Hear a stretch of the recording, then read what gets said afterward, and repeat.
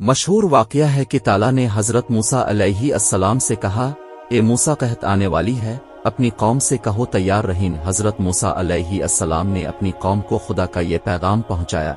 हज़रत मूसा अलैहि अस्सलाम और उनकी कौम ने अपने घरों की दीवारों में सुराख बना दिए ताकि कहत और सख्ती की सूरत में साथ वाले घर की मदद कर सकें और इस तरह ये सख्त दिन गुजर जाएँ। कुछ वक्त गुजरा लेकिन कहत नहीं पड़ा। हज़रत मूसा अलैहि अस्सलाम ने ताला से वजह पूछी तो जवाब मिला कि, ए मूसा, तुम्हारी कौम ने आपस में एक दूसरे पर रहम किया तो मैं क्यों? ना उन पर रहम करूँ, इसलिए तहत नाजिल नहीं किया। इसलिए दोस्तों, मौजूदा इस महँगाई के दौर में एक दूसरे पर रहम किया करें, ताकि खुदा भी हम पर रहम करे और ये मुश्किल वक्त आसानी से गुजर जाए। उम्मीद करता हूँ सलाम ये वाक़ आपको बहुत पसंद आया होगा। मजीद अच्छी अच्छी स्टोरीज और दिलचस्प कहानियों के चैनल को लाजमी सब्सक्राइब करें। शुक्रिया।